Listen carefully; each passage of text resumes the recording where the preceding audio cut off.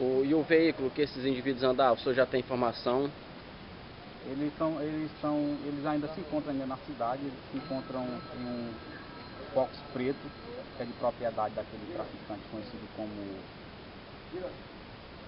é, Jamaica? Como Jamaica, positivo, conhecido como Jamaica, eles andam nesse veículo.